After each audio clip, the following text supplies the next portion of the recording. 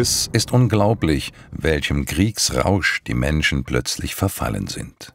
Es scheint so, als ob sie nichts, aber auch gar nichts aus der Vergangenheit gelernt haben. Es ist wie bei einem Brand. Je mehr brennbares Material das Feuer erreichen kann, desto größer wird der Schaden. Doch jetzt wird sogar Öl ins Feuer gegossen. Normalerweise wird bei einem Brand der Ursache auf den Grund gegangen, um das Feuer zu löschen. Doch daran scheinen weniger ein Interesse zu haben.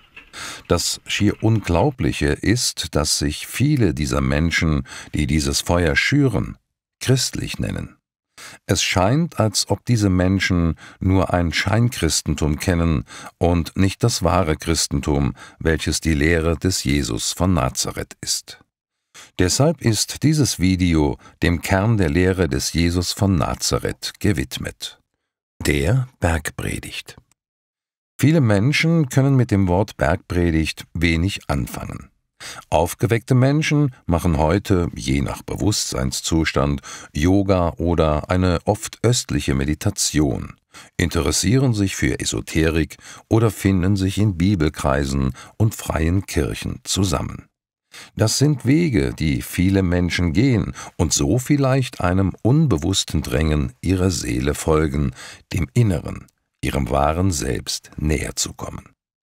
Es ist eine gute Sache, Erfahrungen zu sammeln und nach der Wahrheit zu suchen. Früher war es oft ein Buch oder ein Vortrag, die den Menschen die Augen öffnete und Lebenshilfe gaben. Heute sind es vermehrt die sozialen Medien, in denen Menschen Anregung und Hilfe suchen, um ihren Weg zu finden. So mancher ist sich dabei nicht bewusst, welchen Kräften man sich dabei bedient. Wenn jemand zum Beispiel versucht, mit einem Mantra in eine Transzendenz, in eine vollkommene Stille zu gelangen, dann sind es oft Kräfte der östlichen Meisterhierarchie, die dabei abgerufen werden. Es ist entlehnte Energie, die aus geistiger Sicht betrachtet wohl eines Tages zurückgezahlt werden muss. Dies wird jedoch den interessierten Teilnehmern bewusst oder unbewusst verschwiegen. In Bibelkreisen und sogenannten freien Kirchen wird den Suchenden oft versprochen, dass sie für immer gerettet seien, weil sie Jesus angenommen haben. Das bedeutet, der Glaube oder eine Taufe würden reichen, um gerettet zu werden, obwohl Jesus von Nazareth unermüdlich auf die Wichtigkeit des Tuns hinwies, sprich die Umsetzung des Glaubens in die Tat. Dabei werden in solchen Kreisen oft die Menschen, die die Bibel oder die Lehre des Jesus von Nazareth anders verstehen oder auf andere christliche Quellen zurückgreifen, abgewertet und als Irrlehrer geschimpft die ihr Heil verspielen würden und so den Weg in die Hölle nehmen. Es lauert also hier auch die Gefahr, dass sich das Bewusstsein verengt, anstatt sich zu erweitern. Die Bergpredigt hingegen beinhaltet die reine Lehre des Jesus von Nazareth, die Toleranz und wahre Nächstenliebe lehrt. Würde sie von den Menschen angenommen und gelebt werden, Wahrlich, es würde mit der Zeit ein Paradies auf dieser Erde entstehen. Kein Krieg und keine Waffen mehr. Tiere würden nicht mehr von den Menschen missbraucht werden und wären als freie Geschöpfe Gottes sogar des Menschen Freund. Wie paradiesisch wäre es, wenn die Tiere nicht mehr vor dem Menschen Angst haben und fliehen müssten, sondern auf ihn zugehen könnten, wenn es wieder ein Miteinander gäbe zwischen Tier und Mensch. Auch die Natur würde nicht mehr ausgebeutet und geschändet werden, und sehr vieles würde sich zum Positiven ändern. Würden die Menschen so leben, dann könnte ihnen auch aus der geistigen Welt auf mannigfache Art und Weise geholfen werden, so dass sie alles hätten, was sie zum Leben benötigen. Da für viele Menschen das Wort Bergpredigt oder Feldpredigt, wie sie im Lukasevangelium auch genannt wird, lediglich ein Schlagwort ist, wollen wir deshalb diese wichtigen Lehren des Jesus von Nazareth näher betrachten. Da die Schriften der Bibel erst vier bis acht Generationen nach Jesus von unbekannten Autoren wohl durch Hörensagen niedergeschrieben wurden und es keine Originalschriften mehr gibt, verwenden wir ein apokryphes Evangelium, das einen vollständigeren Inhalt aufweist. Es wird das Evangelium des vollkommenen Lebens genannt und entspricht inhaltlich auch dem Evangelium der Zwölf oder dem Evangelium Jesu. Dem Sinn nach entspricht dieser Abschnitt dem biblischen Text im Matthäus- und Lukasevangelium. Die Bergpredigt ist für jeden der Weg zum Herzen Gottes, der die Worte nicht nur auf den Lippen trägt, sondern sie in seinem Leben umsetzt. Es ist der Weg, den Jesus von Nazareth lehrte und uns mit dieser Lehre bis hin zur Vollendung führen möchte hören wir in die Worte des Jesus von Nazareth hinein. Kapitel 25, Vers 1 Da Jesus die Menge des Volkes sah, ging er auf einen Berg, und als er sich gesetzt hatte, kamen die Zwölf zu ihm. Er blickte auf zu seinen Jüngern und sprach, Selig im Geiste sind die Armen, denn ihrer ist das Himmelreich. Die alten Schriften wurden und werden oft falsch verstanden und deshalb oft fehlerhaft abgeschrieben oder übersetzt. Viele Begriffe haben im Laufe der Zeit auch eine andere Bedeutung bekommen. So denken viele, man müsse im Äußeren arm werden oder ein einfaches klösterliches Leben führen, um dieses Jesuswort erfüllen zu können. Hier geht es jedoch nicht um die materielle Armut, obwohl die Menschen gemeint sind, die keinen Reichtum anhäufen und das Streben nach eigenem Besitz nicht zu ihrem Lebensinhalt machen. Es geht also um jene Menschen, die ihren Besitz mit anderen teilen und die ihre Güter, die Gott allen geschenkt hat, im Sinne der Nächstenliebe verwalten. Bereits im Mittelalter ja, zu allen Zeiten gab es urchristliche Gemeinschaften, die dieses Gebot praktizierten und deren Streben es war, dem Gemeinschaftsleben, dem Gemeinwohl zu dienen.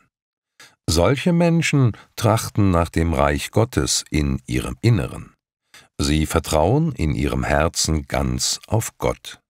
Diese Menschen werden, wie Jesus gelehrt hat, alles, was sie brauchen, für ihr irdisches Leben erhalten und darüber hinaus. Man kann auch sagen, sie leben das Gebot bete und arbeite. Diese Gemeinschaften wurden jedoch meistens von den Obrigkeiten verketzert, verfolgt und unzählige von ihnen getötet. Wie wäre die Welt eine andere, wenn immer mehr Menschen versuchen würden, solche altruistischen Ziele anzustreben und zu leben? Es wäre eine Revolution. Es wäre eine Kraft, die die Weltherrschaft der Gegensatzkräfte sicherlich auf den Kopf stellen würde. Es wäre die Befreiung von allen irdischen Zwängen und Fesseln. Es wäre das Paradies auf Erden. Selig sind die, die da Leid tragen, denn sie sollen getröstet werden. Wie verhalten sich oftmals die Menschen, wenn ihnen ein Ungemach geschieht? Sie klagen Gott an und beschuldigen ihren Nächsten, der Arzt den vermeintlichen Verursacher, die Gesellschaft, den Staat oder vielleicht gar die angeblich nicht korrekt gebaute Treppe, die sie hinuntergestürzt sind. Sie suchen einen Schuldigen für ihr Unglück.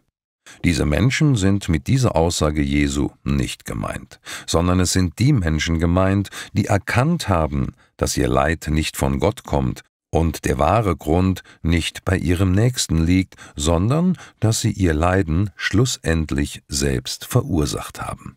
Sie versuchen im Leid ihre Fehler und Schwächen zu erkennen, diese zu bereuen um Vergebung zu bitten und anderen zu vergeben und bemühen sich, die gleichen Fehler nicht mehr zu tun. Dies ist nicht immer leicht, sondern erfordert oft harte Arbeit an sich selbst. Denn es gilt, den Balken im eigenen Auge zu finden, statt das Augenmerk auf den Splitter im Auge des Nächsten zu richten.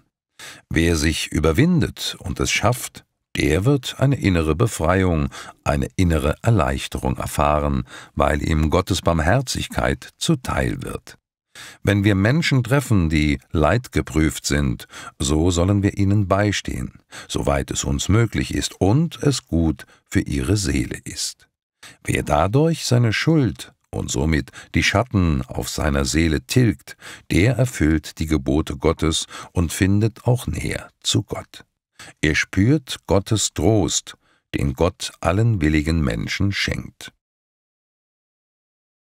Selig sind die Sanftmütigen, denn sie werden das Erdreich besitzen.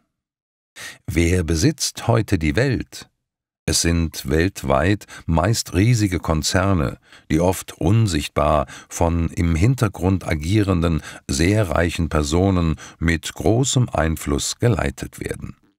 Sie haben in dieser Welt ihre Pfründe abgesteckt und beeinflussen, oft mit Hilfe von ihnen ergebenen oder hörigen Politikern, ganze Länder.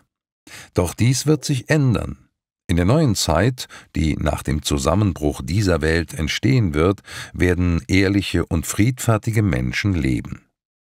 Es sind Überlebende, die von Sanftmut, Demut, Liebe und Güte geleitet werden und auf diese Weise das Erdreich im Geiste Christi in Besitz nehmen, so ist es vorausgesagt.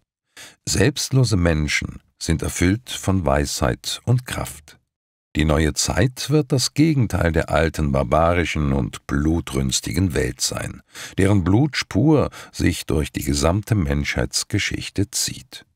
Kein Blutvergießen wird mehr stattfinden, weder vom Mensch noch vom Tier. Es wird keine Zerstörung der Natur und auch keine anderen menschlichen Auswüchse mehr geben.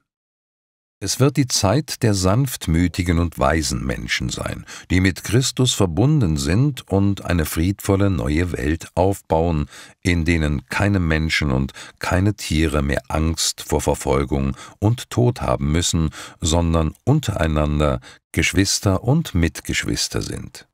Diese neue Zeit hat Jesus von Nazareth in diesem Satz bereits prophetisch vorausgesehen. Selig sind die, die da hungert und dürstet nach Gerechtigkeit, denn sie sollen gesättigt werden.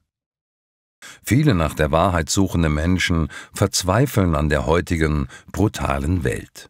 Sie sehnen sich, ja es dürstet sie, nach einer besseren und gerechteren Welt.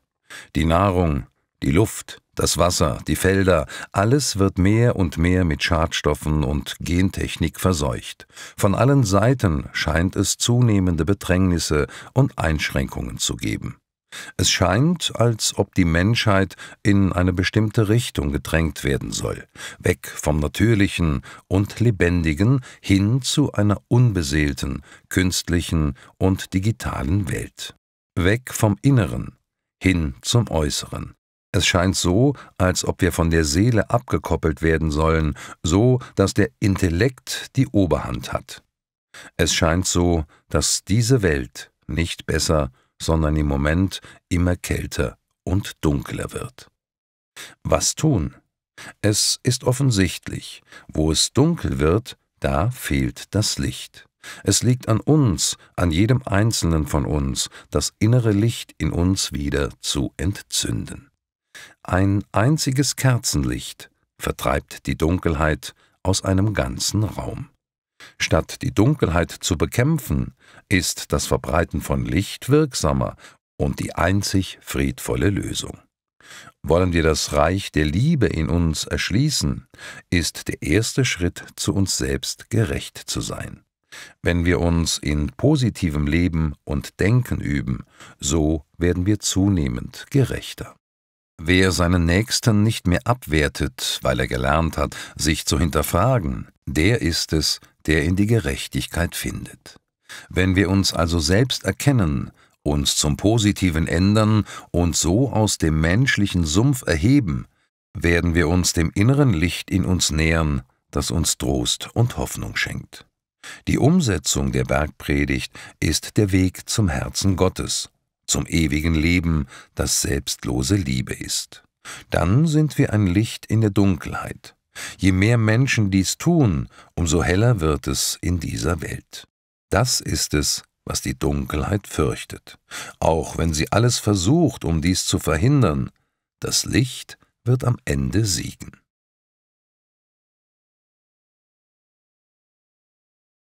Selig sind die Barmherzigen, denn sie werden Barmherzigkeit erlangen.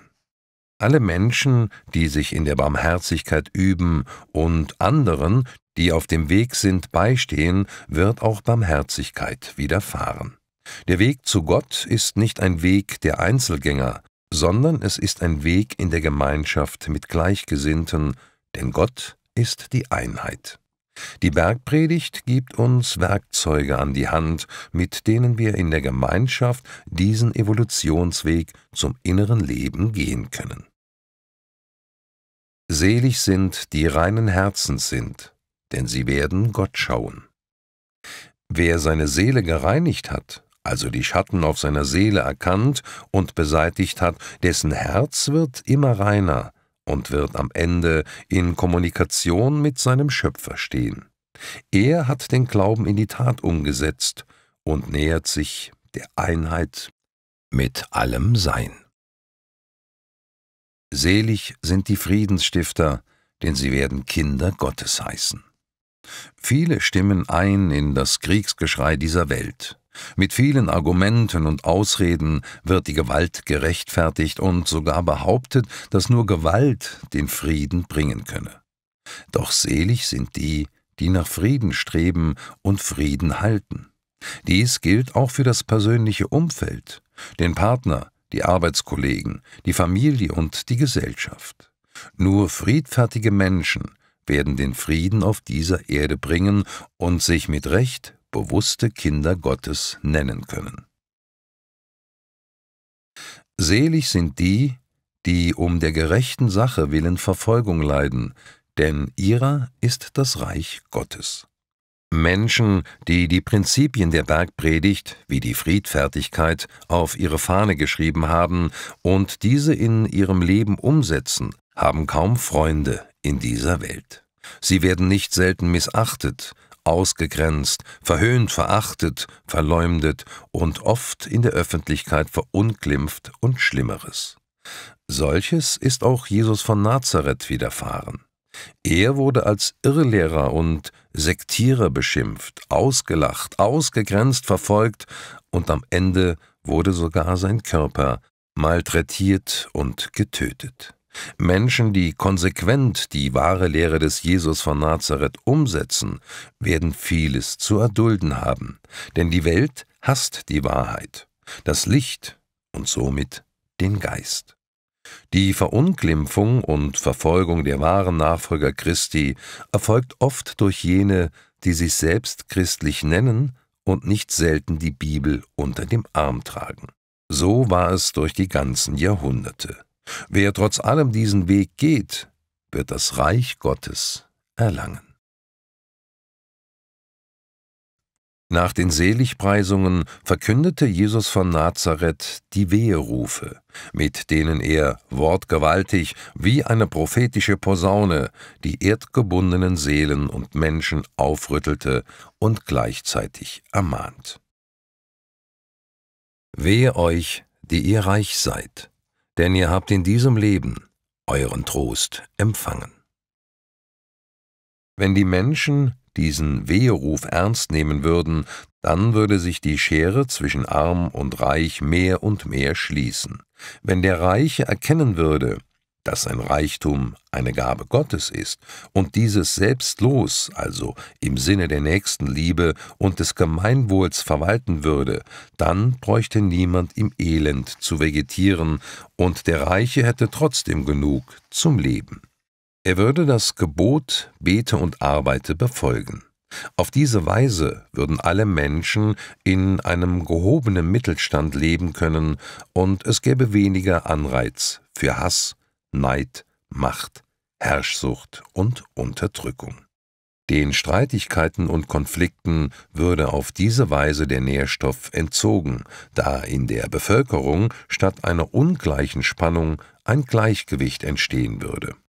Nur zu oft wird das Gesetz von Ursache und Wirkung und auch die Reinkarnation außer Acht gelassen. Es liegt auf der Hand. Wer sein Vermögen zu seinem egoistischen Selbstzweck anhäuft und sein ganzes Trachten nur auf dessen Vermehrung fixiert, um bei den Menschen angesehen zu sein, der muss sich nach dem Gesetz von Saat und Ernte nicht wundern, wenn ihm eines Tages sein Verhalten zum Verhängnis wird. Vielleicht wird er in der nächsten Inkarnation in armselige Verhältnisse inkarnieren und um Nahrung betteln müssen, die er in vorangegangenen Leben den Bedürftigen verweigerte. Er muss unter Umständen die Leiden derer durchleben, die wegen seines egozentrischen Verhaltens in die armseligen Leben gestürzt wurden. In Deutschland besitzen ein Prozent der Bürger, also das oberste Hundertstel, rund 35 Prozent des individuellen Nettovermögens. Die reichsten 10 Prozent kommen gemeinsam auf zwei Drittel des gesamten Vermögens. Die ärmeren 50 Prozent der Bundesbürger besitzen hingegen nur rund ein einziges Prozent des gesamten Nettovermögens. 20 Prozent besitzen nichts und weitere 10 Prozent sind sogar verschuldet. Entspricht dies einer gerechten oder gar einer christlichen Gesellschaft?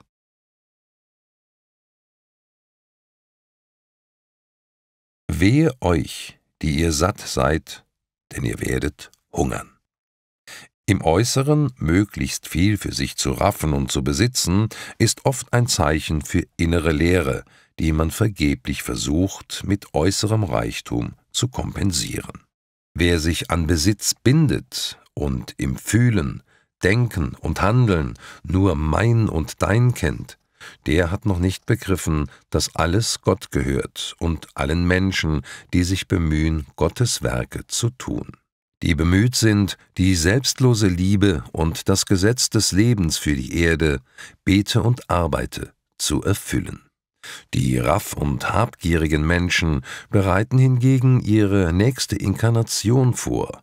Vielleicht, wie bereits erwähnt, ist diese in ärmlichen Verhältnissen in denen sie unter Umständen um ein Stück Brot betteln müssen.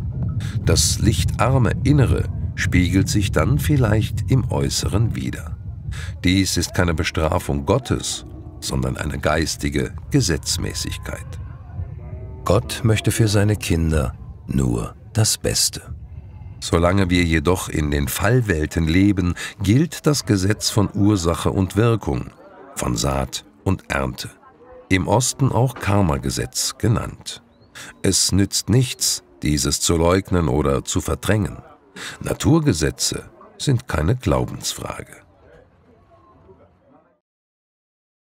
Wehe euch, die ihr jetzt lacht, denn ihr werdet trauern und weinen. Wer Menschen abwertet, verurteilt, auslacht, verspottet und Witze über sie macht, versündigt sich nicht nur an seinen Nächsten und bindet sich an ihn, er versündigt sich auch an Gott und wird später darunter zu leiden haben. Jeder beseelte Mensch ist in seinem Inneren ein Kind Gottes, und wir alle sind im Inneren miteinander verbunden. So verspottet sich der Spötter im Grunde selbst und auch Gott. Wir sollten unsere Worte und Gedanken mit Bedacht wählen, um uns nicht selbst Schlingen zu legen, die uns eines Tages zum Verhängnis werden könnten. Wehe euch, wenn alle Menschen gut von euch sprechen, denn so machten es auch ihre Väter mit den falschen Propheten. Wir sollten ehrlich sein und nicht dem Nächsten gefallen wollen, indem wir mit Schmeicheleien seine Zuneigung erkaufen und ihm nach dem Mund reden. Wir tauschen oft Freundlichkeiten aus, aber meinen wir sie auch so? Oder bestätigt unser Mensch nur das allzu menschliche Ich des Nächsten, um ihm zu gefallen und um später auch wieder Zuneigung und äußere Freundlichkeit zu bekommen? Solche kleinen Schmeicheleien scheinen für uns nicht von Belang zu sein, doch sie könnten Folgen haben. Das menschliche Ego dürstet fortwährend nach Bestätigung und Aufwertung, so dass dabei oft noble Werte wie Ehrlichkeit und Offenheit das Nachsehen haben. Auch Verantwortliche eines Volkes oder Völkerbundes können falsche Propheten sein, die die Völker mit verführerischer Redekunst, mit geschmeidigen Worten und Angstmache zur Mithilfe ungesetzmäßiger Taten verführen und das Ganze dann sogar als christliche Nächstenliebe oder Bürgerpflicht verkaufen. Für die Verteidigung angeblich edler Ziele sind schon Millionen von Menschen in vielen Ländern dieser Erde zu Mördern gemacht oder in den Tod getrieben worden. Wer sind die Nutznießer solcher bluttriefender Operationen? Die Verantwortlichen stellen sich selbst auf einen Sockel und geben sich als Helden und Retter aus, genießen bei Empfängen das Bad in der Menge und das hochgejubelt werden in den Medien, egal wie viele Menschen als Folge ihrer geostrategischen Entscheidungen ihr irdisches Leben verlieren. Macht jemand nicht mit oder deckt gar die verborgenen Hintergründe auf, dann wird nicht selten gegen solche Personen vorgegangen. Nach diesem Schema wird seit Jahrtausenden vorgegangen. Seit der Geburt Jesu wurden viele Jahrhunderte lang Hunderttausende seiner Anhänger in vielen urchristlichen Gemeinschaften verfolgt, verketzert und viele am Ende gar getötet. Das Volk war den Obrigkeiten hörig, glaubte ihren Aufrufen und Versprechungen und sammelte für einen angeblichen Sündenablass fleißig Holz für die Scheiterhaufen, auf denen die Opfer zum Teil lebendigen Leibes verbrannt wurden. Was hat sich geändert? Doch das Licht bahnt sich immer wieder seinen Weg und lässt sich nicht aufhalten. Das Licht wird gewinnen, denn die Schöpfung gehört Gott, und nicht den Abtrünnigen. Ihre Zeit ist abgelaufen. Dies waren einige wenige Sätze aus der Bergpredigt, der Essenz der Lehre des Jesus von Nazareth. Wenn sie befolgt werden, bringen sie die innere Freiheit. Sie widersprechen dem alten System, das im Grunde auf dem Streben nach Macht und Weltherrschaft, nach Selbstbereicherung und Unterdrückung aufgebaut ist. Wer anfängt, diese Lehren in seinem Leben umzusetzen, wird das wachsende Licht in seinem Inneren spüren, das ihn ermutigen wird, diesem Weg weiter zu folgen. Es ist der Weg in die Freiheit, zum Herzen Gottes. Es liegt an uns, an jedem Einzelnen, dass auf diese Weise mit der ehrlichen Arbeit an sich selbst auch im Äußeren eine friedvolle Welt entstehen kann.